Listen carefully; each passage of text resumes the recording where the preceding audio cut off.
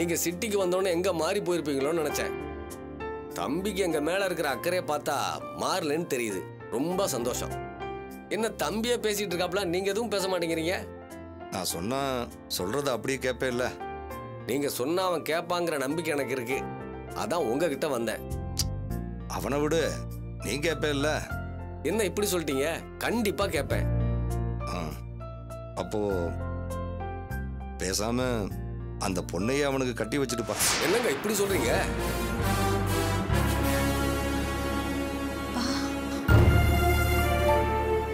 இந்த பாரிசேகர் வாழ்ற காலத்துல தான் குடும்பம் பணம்னு ஓடி சந்தோஷமா வாழாம இருந்துட்டோம். சாகுற காலத்திலேயாவது நிம்மதியா சாகணும்னு நினைச்சீங்கன்னா அந்த பொண்ணையே உன் பையனுக்கு கட்டி வச்சுட்டுப்பா.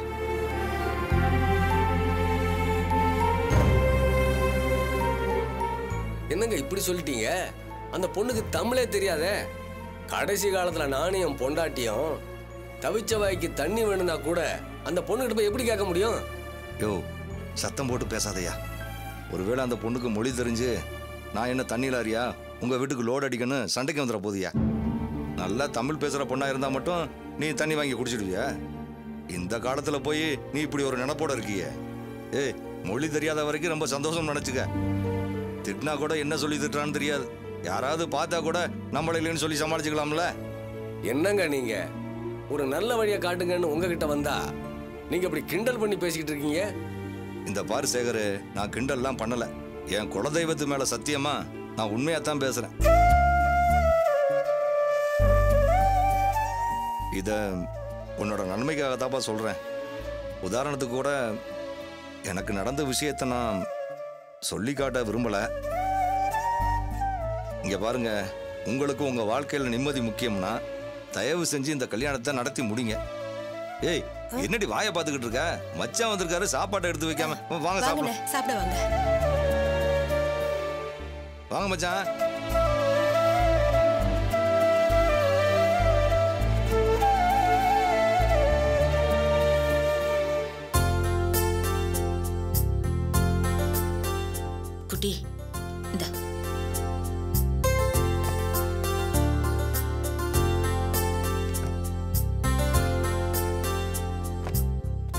அண்ணே நிஜமாவே நீங்க தானே எனக்கு ரோல் மாடலு உங்களை பார்த்து தான் இதை ஆரம்பிக்கணும்னு நினைச்சேன். நீங்களும் எனக்கு நல்லா ஹெல்ப் பண்றீங்கண்ணே. நிச்சயமா நான் இதை சக்ஸஸ் பண்ணி காட்டுவேனே அந்த நம்பிக்கை எனக்கு இருக்கு. ஆமாண்ணே இன்னைக்கு பணம் வந்துடும் இன்னும் டூ டேஸ்ல எல்லாத்தையும் பக்காவா பண்ணிடுவேன். நீங்க கொஞ்சம் அந்த மிஷினரி விஷயமா பேசிட்டீங்கன்னா நல்லா இருக்கும் ஆமாண்ணே ஷாம் என் கூட தான் இருக்கான். ரெண்டு பேரும் சேர்ந்து தான் பண்ண போறோம். சரிண்ணே. சரிண்ணே நான் அப்புறம் கூப்பிட்றேண்ணே. நட்ராஜ் ஒரு நிமிஷம் நில்லுப்பா. உன்கிட்ட கொஞ்சம் பேசணும்.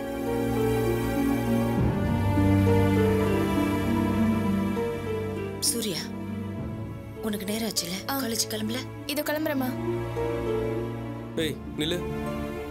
வழக்கமா சின்ன மேடமும் பெரிய மேடமும் சேர்ந்து தானே அவமானப்படுத்துவீங்க இப்போ என்ன தனியா ஒரு புது ஷோ மேடம் கொஞ்சம் வெயிட் பண்ணி ரெண்டு பேரும் சேர்ந்தே என்ன அசிங்கப்படுத்திட்டு போங்க. இல்லைன்னா நான் உங்களுக்கு தனியா வர டைம் ஒதுக்கணும். ஏன்பா இப்படி எல்லாம் பேசுற? நாங்க என்ன உனக்கு விரோதியா? நான் அப்படி நினைக்கல. ஆனா நீங்க ரெண்டு பேரும் என்ன அப்படி தானே ட்ரீட் பண்றீங்க? அப்படி என்ன பண்ணாங்க உன்னை கொடுமைப்படுத்திட்டோம்? இப்ப நீ கொஞ்ச நாளா என்னெல்லாம் பண்ணிட்டு இருக்கேன்னு வரிசையா யோசிச்சு பாரு. தப்பா இல்லையான்னு உனக்கே புரியும். ஐயா இப்போ ஏன் அதையே பேசி இரிட்டேட் பண்றீங்க? நீ என்ன பண்ணன்னு சொன்னதுக்கே உனக்கு இவ்வளவு எரிச்சல் வருது. ஆனா நீ பண்ண எல்லாத்தையும் பொறுத்துக்கிட்டு ஒத்தையா இருந்தாலே சூர்யா அவளை பத்தி நீ நினைச்சு பார்க்க மாட்டியா? ஐயா எனக்கு புரியவே இல்லை. இப்போ நீங்க ஃபீல் பண்ணி நடிச்சு கொட்டுற அளவுக்கு நான் என்ன தப்பு பண்ணிட்டேன்? ஏன்பா குடிக்கிறது தப்பு இல்லையா? ஏற்கனவே நீ பணம் காசு விஷயத்துல நிறைய தப்பு பண்ணிருக்க. அப்பெல்லாம் எங்க இவனுக்கு குடி போதனை ஏதாவது தப்பான பழக்கம் வந்திருக்குமோன்னு தினமும் நான் பயந்துகிட்டே இருப்பேன். கெட்டதுலயும் ஒரு நல்லதுன்னு என் பிள்ளைக்கு அப்படி ஒரு பழக்கம் இல்லைன்னு சந்தோஷப்பட்டுக்குவேன். ஆனா இப்போ உனக்கு அந்த பழக்கம் வந்துருச்சடா. சித்தப்பா பணம் தராருன்னு சொல்லி அதை வாங்காத. உழைக்காம வர காசு நம்ம கிட்ட தங்கவே தங்காது. அதோட அடையாளம் தான் நேத்து நீ குடிச்சிட்டு வந்தது. நீ பேசுறதெல்லாம் பார்த்தா சித்தப்பாவே என்ன கூட்டிட்டு போய் குடிடா தம்பின்னு வாங்கி கொடுத்து குடிக்க வச்ச மாதிரி இல்ல இருக்கு. பின்ன? இல்லையா? என்னம்மா நீ? அப்புறம் உனக்கு பிடிக்கலங்கிறதுக்காக இப்படி நம்ம பேசுவ? என்னன்னா அவரா கடை கூட்டிட்டு போனாரு. வயசு பையன் கையில அனாவசியமா காசு கொடுத்து செலவு பண்ணிட்டு வான்னு சொல்றதுக்கும் கடைக்கு கூட்டிட்டு போய் குடிக்க சொல்றதுக்கும் என்ன பெரிய வித்தியாசம்? சொல்லு. தயவு செஞ்சு அந்த காசு நமக்கு வேணாம்பா அதால நமக்கு நல்லது நடக்காது. ஏமா பெத்த புள்ள முத முதல்ல பிசினஸ் ஆரம்பிக்கிறப்போ நடக்காது விளங்காது நான் பேசுவேன். நான் முன்னேறத பத்தி உனக்கு எந்த அக்கறை இல்லாட்டியும் கூட பரவாயில்ல. ஆனா நான் சித்தப்பா கிட்ட பணம் வாங்கிட கூடாது. அதுல மட்டும் நீ தெளிவா இருக்க.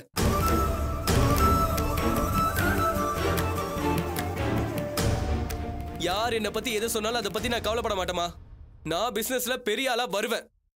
என் மேல எனக்கு நம்பிக்கை இருக்கு. சத்தியமா நான் பெரிய ஆளா வருவேன். என்ன இங்க வா வா நீங்க தான் கூப்பிட்டு வந்தீங்க. நீங்க சொல்லி தான் வந்தேன். நீங்க சொல்ற மாதிரி இது வரைக்கும் நான் பண்ணதெல்லாம் தப்பு தான். இனிமே அந்த தப்பை நான் பண்ண மாட்டேன். சத்தியமா நான் குடிக்க மாட்டேன். இதுக்கு மேல நான் இங்க இருக்கணுமா வேணாமாங்கிறத நீங்க தான் சொல்லணும். நான் நல்லா வருவேன் என் மேல நம்பிக்கை இருந்தா என்னை இங்க தங்க வைங்க. இல்லைன்னா என்னை விட்டுருங்க. நான் ஏதாவது ஃப்ரெண்ட் ரூம்லயோ இல்ல மேன்ஷன்லயோ தங்கி நான் என் பிசினஸ பாத்துக்கிறேன்.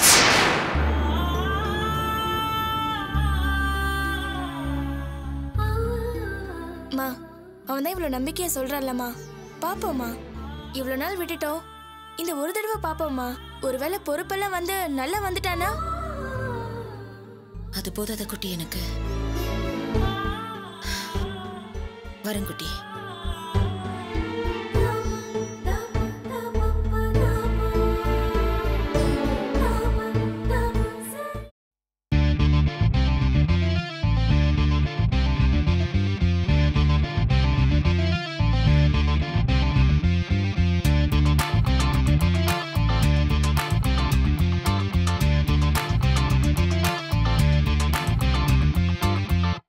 அம்மா குட் மார்னிங்மா ஆ குட் மார்னிங் பிங்கி சந்தோஷ் எங்க? எந்திரிச்சிட்டானா? தூங்கிட்டு இருக்காமா இதை எழுப்புறேன். டேய் சந்தோஷ். டேய் அம்மாடா. எங்கடா? வெப்கேம்லடா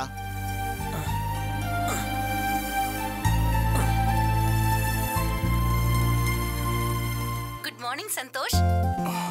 குட் மார்னிங்மா ராத்திரி ரொம்ப லேட்டா படுத்தியா? ஆமாம்மா. ஒரு நிமிஷம் இது சந்தோஷ்.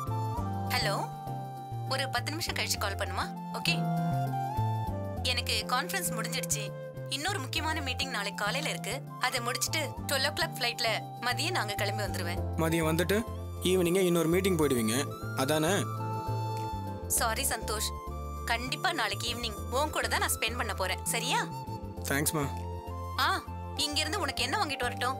நீ எனக்கு வேணும். I miss you Santosh. மீட்டுமா okay bye பாய்மா என்ன மச்சி ஒரு மாதிரியா இருக்க? ஒன்றும் இல்லடா நைட் ஃபுல்லாக என்ன பண்ணிட்டு இருந்த நீ? ஆமா நைட் எல்லாம் படம் பார்த்துட்டு இருந்திருப்பான். ஏய் படம் பார்க்கலடா. படம் தயாரிச்சிட்டு இருந்தேன்.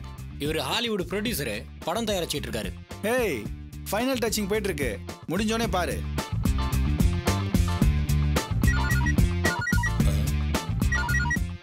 மச்சான் அப்பாடா. சொல்லுங்க டேட் ஹலோ சந்தோஷ். நம்ம வீட்ல சமையக்காரன் வரதுக்கு லேட் ஆகும் இன்னைக்கு. வெளியில ஃபுட் ஆர்டர் பண்ணிருக்கேன். ஒரு பத்து நிமிஷத்துல வந்துடும் வாங்கி சாப்பிட்றேன் என்ன? சரி டேட் பணம் வச்சிருக்கேன் கையில? அதான் கிரெடிட் கார்டு இருக்கு okay fine take care bye bye dad என்னடா சொல்றாரப்பா? குக் இன்னைக்கு வர லேட் ஆகுமா? ஓ. ஹோம் டெலிவரிக்கு ஆர்டர் பண்ணியிருக்காராம். மறக்காம வாங்கி சாப்பிட சொல்றாரு. பரவாயில்லடா.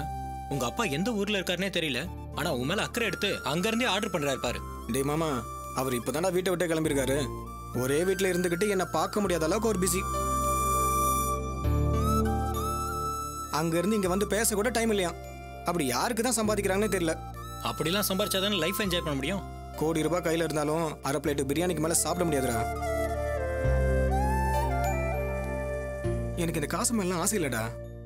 சாப்பாட்டுக்கே கஷ்டப்பட்டாலும் அப்பா அம்மா கூட சேர்ந்து இருக்கணும்டா. வேணாம் மச்சான். இத பத்தி பேசினா நான் அழுதுருவேன்டா. சக்சஸ் தேடா அணு விஞ்ஞானி ஆட்டம் மேம் கண்டுபிடிச்சிட்டாரு. ஏய் அதை விட முக்கியமானதுடா. வந்து பாருடா காட்டு.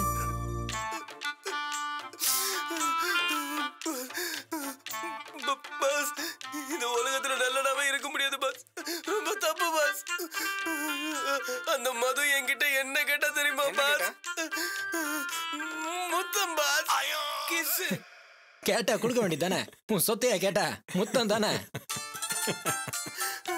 நான் அந்த மாதிரி ஆள் இல்லைன்னு சொன்ன பாஸ் அந்த அளவுக்கு நேர்மையா இருந்த பாஸ் சரி நம்ம கட்டிக்க போறவ தானேன்னு சொல்லி என் கொள்கையெல்லாம் கூட விட்டுட்டு ஒரே ஒரு தடவை கிஸ் பண்ண பாஸ் அவ்வளோ டம்மி பீஸா நீ? என் மது இப்போ செல்போன் குள்ள இருக்கா. அத நான் இப்போ உங்களுக்கு காட்ட போறேன். அன்னைக்கு நீ ஆசையை கேட்டல முத்தம் இப்போ நான் உனக்கு தரேன். இந்த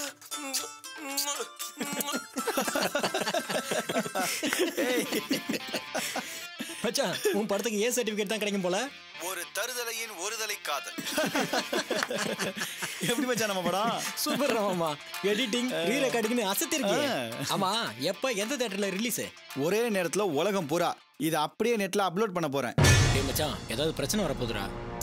டேய் லவ் ஃபெயிலியர்னா பசங்களுக்கு எவ்வளோ பெயினா இருக்குன்னு நிறைய பொண்ணுங்களுக்கு தெரியறதே இல்ல. இதை பார்த்தாலும் தெரிஞ்சுக்கட்டும். என்ன மச்சான்? நம்ம மேக்கிங்கை பார்த்து எதுவுமே சொல்ல மாட்ற சூப்பர் மச்சான். மச்சான் ஒரு நிமிஷம்டா.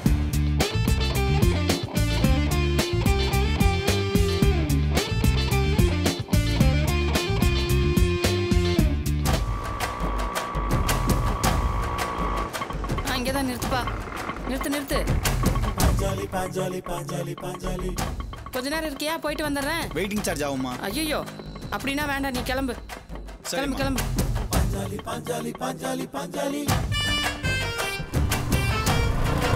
ஐயோ என்ன சார்? வேகம் ரொம்ப ஜாஸ்தியா இருக்கு? ஐயோ சாரி கவனிக்கல சரியா? ஆஹா. ஆமா நான் கேள்விப்பட்டதெல்லாம் நெசமா? ஏதோ கம்பெனி ஆரம்பிக்க போறீங்களா? ஆமா. அப்படின்னு சொல்லி பணத்தை வாங்கிட்டு போலான்னு வந்திருக்கீங்க. இந்தம்மா நீங்க கூட தான் கம்ப்யூட்டர் சென்டர் ஆரம்பிக்க போறேன்னு சொல்லி பணம் வாங்க வந்திருக்கீங்க. ஏன்பா ஊர்ல எவன் எவனோ கம்பெனி ஆரம்பிக்கும் போது என் புள்ள படிச்சிருக்கான். அவன் ஆரம்பிக்க கூடாதா? என்ன தம்பி முகம் ரொம்ப சுருங்கி போச்சு? பணம் விஷயம்ப்பா கண்ணும் கருத்துமா இருக்கணும். பத்து நிமிஷம் வெயிட் பண்ணடானா ஆட்டோக்காரன் கூட வெயிட் பண்ண மாட்டேன்றான். வெயிட்டிங் சார்ஜ் கேக்குறான். லட்சுமியை வெயிட் பண்ண வைக்கலாமா? போ போய் பணத்தை வாங்குற வழியை பாரு. போ. அட போப்பா.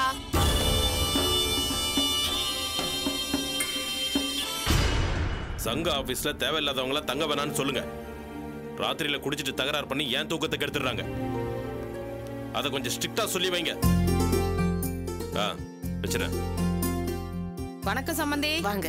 ஆ வாங்க வாங்க உட்காருங்க. பாப்பா. சம்பந்தி அம்மா எப்படி இருக்கீங்க? ஏதோ மாத்திரை மருந்துல ஓடிட்டு இருக்கு அப்புறம் சம்பந்தி மாப்பிள்ளை தம்பி எங்க? உங்க பக்கத்துல தான் இருக்கான். நான் இவரை கேட்கல சஞ்சய் தம்பிய கேட்டேன். அவன் கடைக்கு போயிருக்கான் சம்பந்தி. நித்யா உள்ள காய்ச்சல்னு படுத்திருக்கான் ஆ, என்ன சம்பந்தி மாப்பிள்ள வரலையா? அதை ஏன் கேக்குறீங்க? அவன் வண்டியில இருந்து கீழே விழுந்து அடிபட்டு கிடக்குறான். ஐயோ என்ன ஆச்சு. நம்ம யாருக்குமே எந்த கெடுதலும் பண்ணதில்ல. அதனால பெருசா சேதாரமாகாம தப்பிச்சிட்டான். கை கால் தான் வீங்கி போய் கிடக்கு.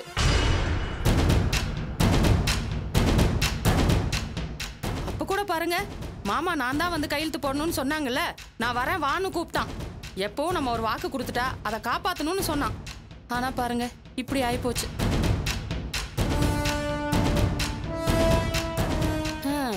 நான் என் பிள்ளைகளை அப்படி வளர்த்து வச்சிருக்கேன்.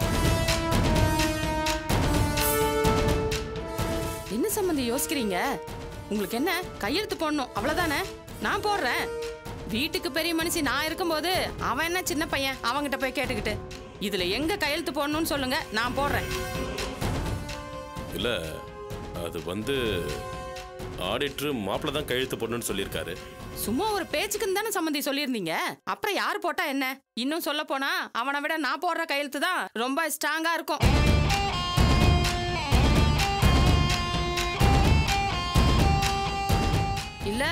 அவன் தான் போட்டாகணும்னா நான் வேணா என்ன சம்பந்தி ஏன் இப்படி பேசுறீங்க? அவன் ஏதோ ஆடிட்டிங் கணக்கு அது இதுன்னு சொன்னான். மத்தபடி வேற எதுக்காகவும் கேட்கல.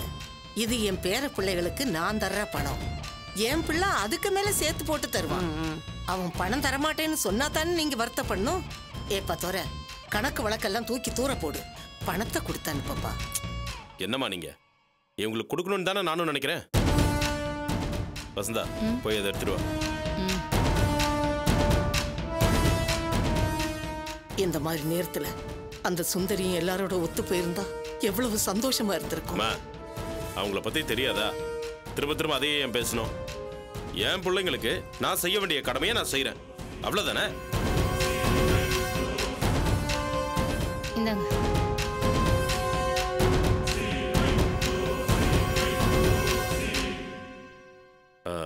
சமந்தி இதை வாங்கிக்கோங்க சமந்தி.